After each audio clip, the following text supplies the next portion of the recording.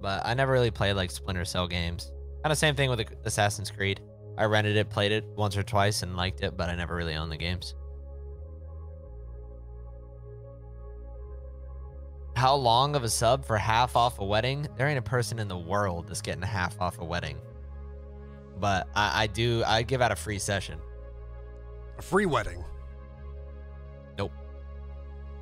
You heard it here first, chat. If you're from TST, you get a free wedding shot.